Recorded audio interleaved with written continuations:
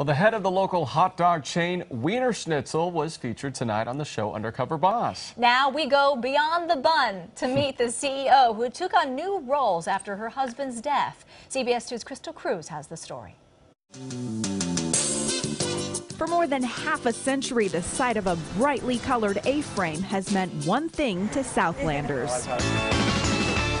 Wienerschnitzel hot dogs.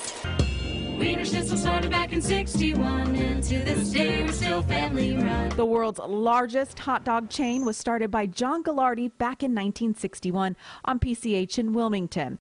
The original Der Wienerschnitzel is still operating today and is one of two LA roadside food stands to be designated a historic landmark. He named it Der Wienerschnitzel, and then 30 years ago, they eliminated the Der. People in Southern California, they still call it Der. Cindy Galardi Culpepper is John's ex-wife and the current CEO and chairperson of Wienerschnitzel.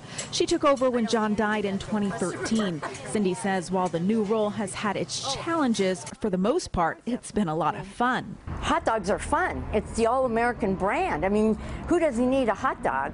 So automatically just coming in and running the company, it has to be fun. We're not a lettuce wrap.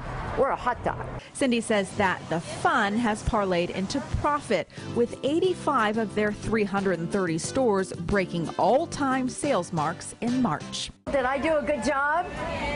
Perfect. Thank you.